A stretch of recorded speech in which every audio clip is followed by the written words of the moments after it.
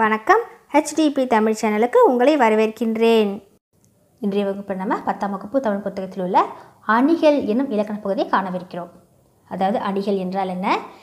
செயல்களுக்கு அழகு செய்து சுவையை உண்டாக்குவன அணிகள் ஆகும். அந்த வரிசையில் நம்ம இன்னைக்கு தற்குறிப்பேற்ற அணி தீவக அணி நிரல் நிறை அணி தன்மை அணி என இந்த நான்கு அணிகளை பற்றி படிக்கவிருக்கிறோம். முதல்ல தற்குறிப்பேற்ற அணி. இயல்பாய் நிகழும் நிகழ்ச்சியின் மீது கவிஞன் தன் குறிப்பை ஏற்றி கூறுவது தற்குறிப்பேற்ற அணி எனப்படும். அதாவது இயல்பாய் ஒரு நிகழ்ச்சி வந்து இயல்பாய் நிகழும். அவ்வாறு நிகழும் அந்த நிகழ்ச்சியின் மீது கவிஞர் வந்து தன்னுடைய குறிப்பை ஏற்றி கூறுவது தான் தற்குறிப்பேற்ற அணி. தற்குறிப்பேற்ற அணி தன்னுடைய குறிப்பை ஏற்றி கூறுவது. அதை வந்து தற்குறிப்பேற்ற அணி எனப்படும். இப்போ எடுத்துக்காட்டு பார்க்கலாம். போருழந்தெடுத்த ஆரையில் நெடுங்கொடி வாரல் என்பன போல மறித்து கை காட்ட. பாடலின் பொருள் பார்த்தீங்கன்னா கோட்டை மதில் மேல் இருந்த கொடியானது வர வேண்டாம் என தடுப்பது போல கை காட்டியது என்பது பொருள். அதாவது கோட்டை மதில் மேல் இருந்த கொடியானது காற்றில் அசைந்தது. அவ்வாறு அசையும் அந்த கொடியின் மீது தன்னுடைய குறிப்பை ஏற்றி கூறுகிறார் கவிஞர். எப்படி? வாரல் என்பன போல மறித்து கை காட்ட. அது வந்து இப்படி இப்படி அசைது இல்லைங்களா?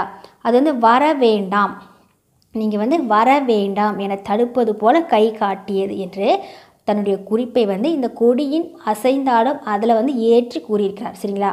இப்போது அணி பொருத்தம் பார்க்கலாம்.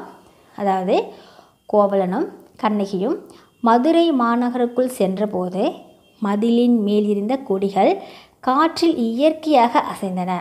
ஆனால் இளங்கோவடிகள் கோவலன் மதுரையில் கொலை செய்யப்படுவான் என கருதி அக்கொடிகள் கையை அசைத்து இம்மதுரைக்குள் வர வேண்டா என்று தெரிவிப்பது போல காற்றில் அசைவதாக தன் குறிப்பை கொடியின் மீது ஏற்றி கூறுகிறார்.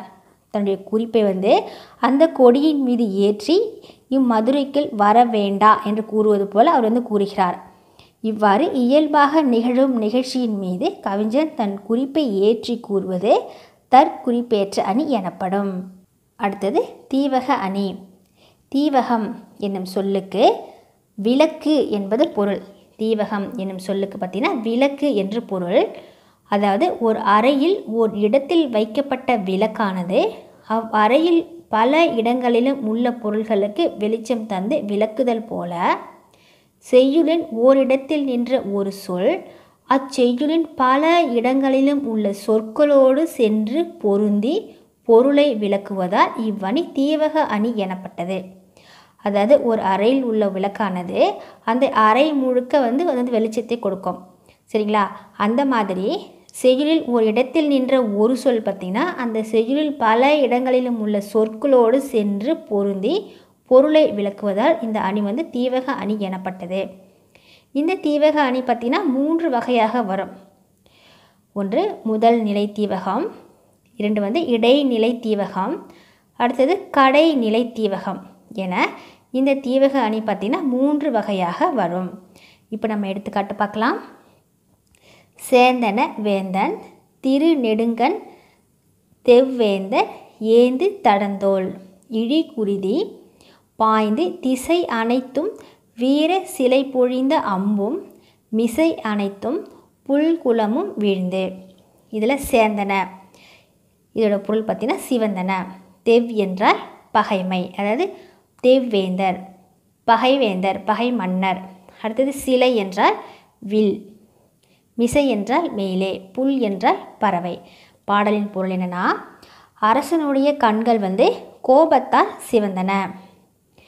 அவை சிவந்த அளவில் பகை மன்னர்களுடைய பெரிய தோள்கள் சிவந்தன.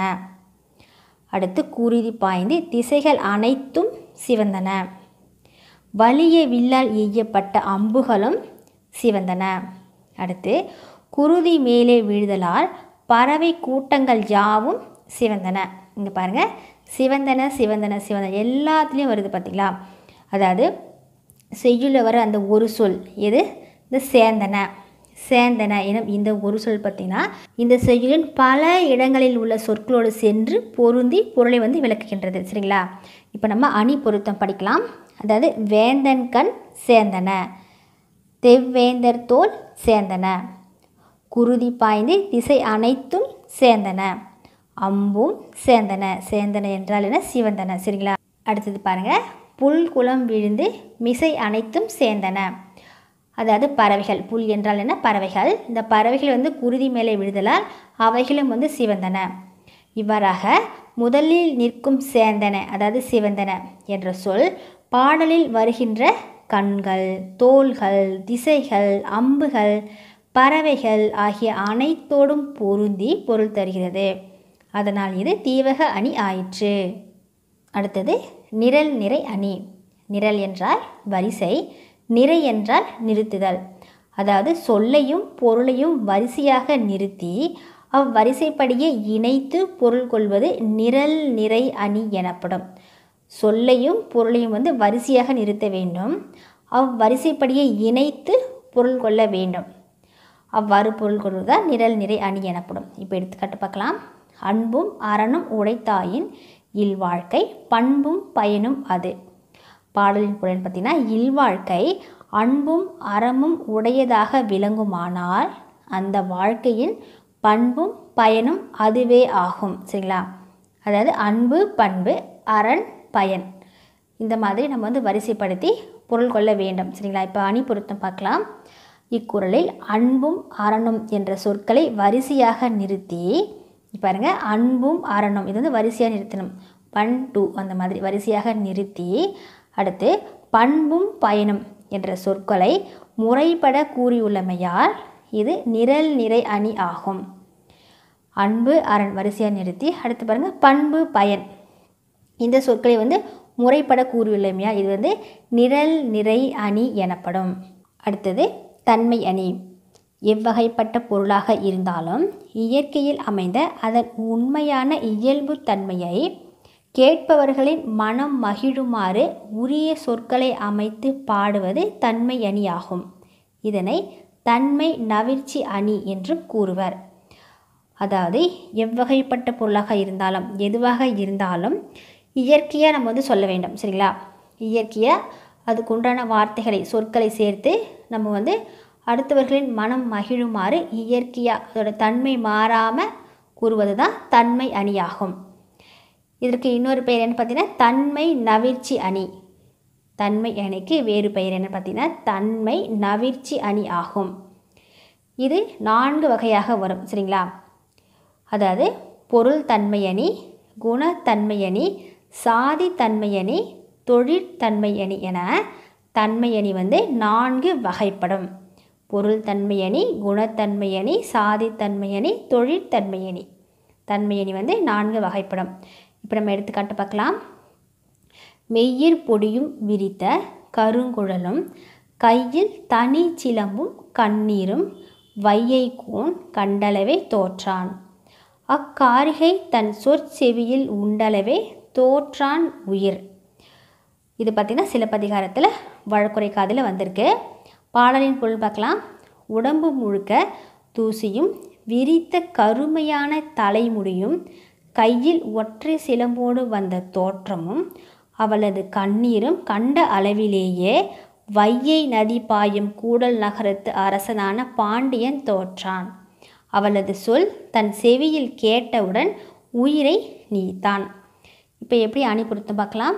அதாவது கண்ணகியின் துயர் நிறைந்த தோற்றத்தினை இயல்பாக உரிய சொற்களின் மூலம் கூறியமையால் இது தன்மை நவிழ்ச்சி அணி எனப்படும்.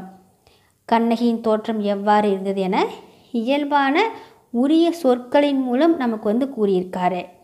அதனால் இது வந்து தன்மை நவிழ்ச்சி அணி எனப்படும். இப்போது தண்டி அலங்காரத்தில் தன்மை நவிழ்ச்சி அணிக்கான பாடல் பார்க்கலாம். எவ்வகை பொருளும் மெய்வகை விளக்கும் சொன்முறை தொடுப்பது தன்மையாகும். இது வந்து தண்டி அலங்காரம். அதாவது தண்டி அலங்காரம் என்பது என அணி இலக்கணத்தை கூறும் நூல் தான் தண்டி அலங்காரம். அதில் தன்மை அணி பற்றினான பாடல் ஆகும் இது. இந்த வீடியோ உங்களுக்கு யூஸ்ஃபுல்லாக இருந்துக்கும் நான் நினைக்கிறேன். ஸோ லைக் பண்ணுங்கள் ஷேர் பண்ணுங்கள் கமெண்ட் பண்ணுங்கள் மறக்காமல் நம்ம சேனலை சப்ஸ்கிரைப் பண்ணுங்கள் வணக்கம்.